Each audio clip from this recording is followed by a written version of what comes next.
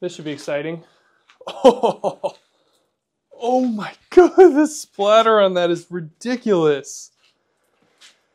Um, so I just did this a second ago. Uh, you guys probably will see it before this, maybe not, maybe after. Um, I did this painting on a regular standing canvas and loved it so much. I cut the paint one to one ratio of paint to water and look at that crazy effect.